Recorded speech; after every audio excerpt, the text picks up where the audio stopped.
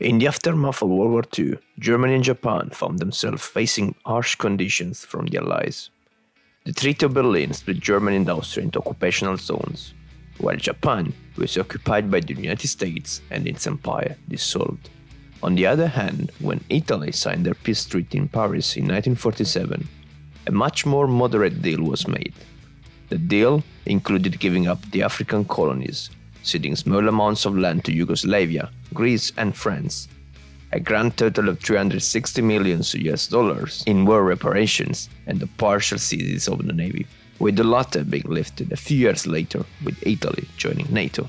Unlike for Germany or Japan, no military occupation was enforced, no territorial partition was made between the Allies, and no Nuremberg trials were held for Italian fascist high commands. Why Italy? The spine being one of the major Axis powers during the war, was not subjected to the same level of military control or harsh conditions as Germany or Japan. What was the reason behind this decision taken by the Allies? Did the Allies just not have Italy's position in the Mediterranean in their strategic interest? Or was the light treatment deliberate to gain Italy as a willing Western ally as tension rose with the USSR? In this episode of History Pills, we will explore and analyze the reasons behind this decision. We will explore how this decision impacted Italy, leading to the economic miracle in the later 50s, and finally, see how this put the foundation for the creation of the European Union. On the 3rd of September 1943, the Kingdom of Italy, with the approvals by both Italian King Victor Emmanuel III and Marshal Badoglio, the Italian Prime Minister at the time, signed an armistice with the Allies. The signing of the treaty prompted an immediate reaction from the Germans that were fast to occupy northern and central Italy. A month later, on the 13th of October 1943, the new Italian government established in Brindisi, southern Italy, declared war on their former Axis allied Germany and on their puppet state, the Italian Social Republic, led by Mussolini in northern Italy. This unique situation meant the beginning of a civil war in Italian territory. A war where the new Italian government, alongside the partisan movements in northern Italy, heavily collaborated with the Allies, providing resources, intelligence, logistics, and manpower support. It is in this context that analysis shall be made about the reasons of why a relatively soft deal between the Allies and Italy was made a few years later. The decision not to occupy nor divide Italy after World War II was indeed the result of a combination of political, military, and strategic consideration we shall now discuss. We will go through three main points and analyze each of them. Number one, Italy's geography and the Allies' need to collaborate with the fascist government.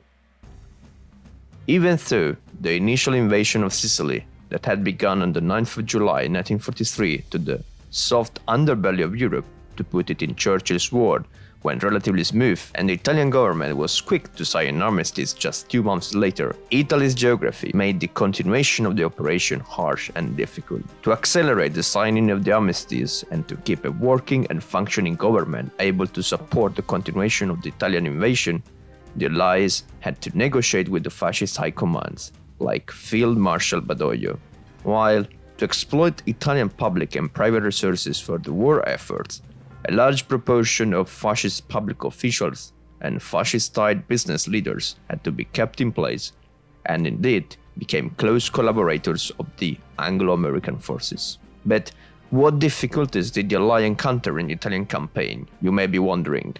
Well, what the Allied had not understood was quickly recognized and exploited by the Germans. The narrow Italian peninsula and the highly mountainous terrain were easily defendable and almost impenetrable.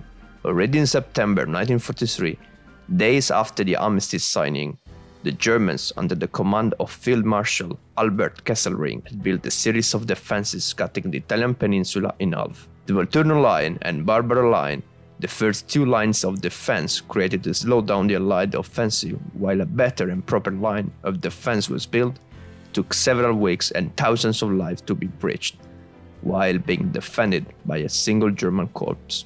From middle November 1943 till June 1944, the so-called Winter Line stopped the Allied advance to Rome for over seven months. designed to defend a western section of Italy, focused around the town of Monte Cassino, through which ran the important Highway 6, which led uninterrupted to Rome.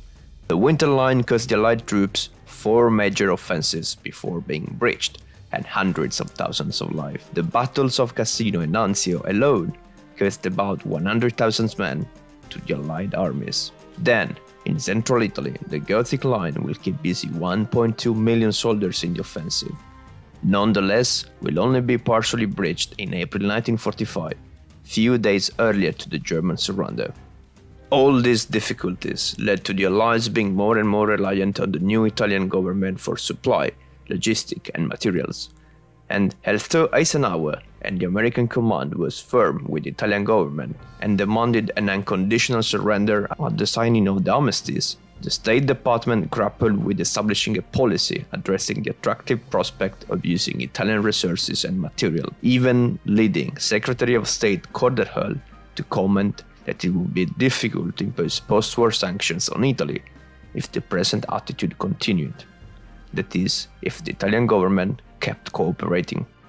And indeed, this eventually made it difficult for the Allies to punish the same people who had helped them. Number 2. Political voting bloc in the United States. The German American population in the United States was a very Americanized and integrated one. Unlike the Italian American and Catholic voting blocs, who had a more complicated view of Italy, but not entirely unfavorable. Therefore, a punitive post war policy towards Italy was not feasible.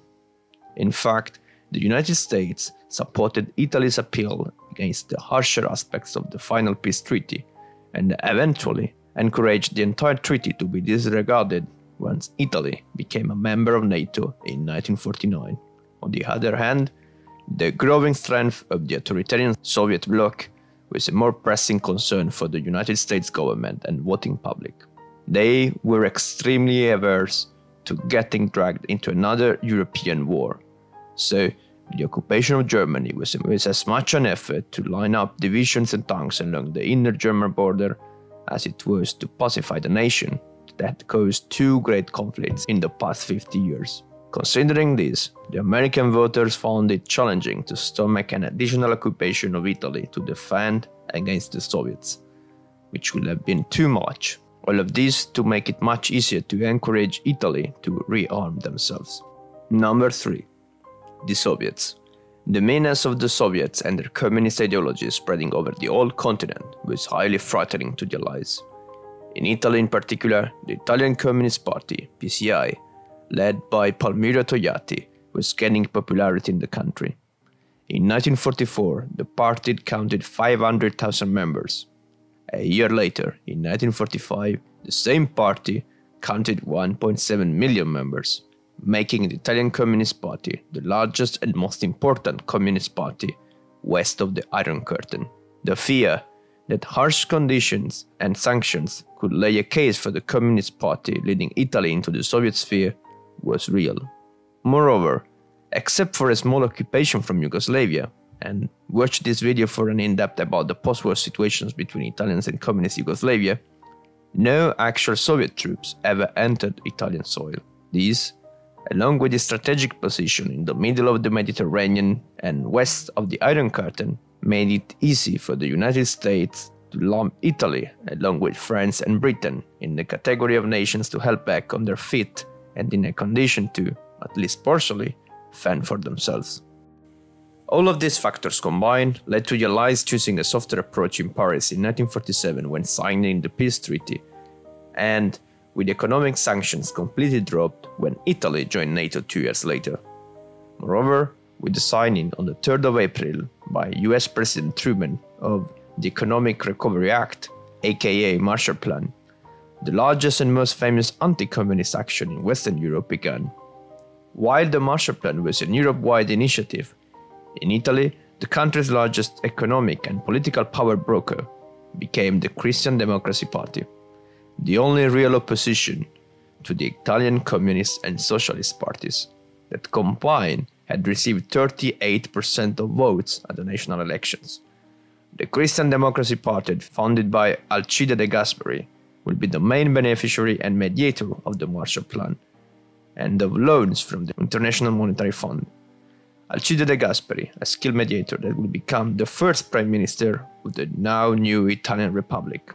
De Gasperi would be later involved in the creation of the European Coal and Steel Community and of the Council of Europe, both of which will evolve in what we know today as the European Union, EU, that names Alcide De Gasperi as one of the 11 founding fathers. Each video takes effort, time, and many resources to be produced if you'd like to support the channel, subscribe and smash the like button. Did you know the reasons why Italy wasn't occupied after World War II? Write it in the comments. And if you know any other interesting, well, non-known story, share it in the comment section. Thanks for watching. Subscribe for more and bye.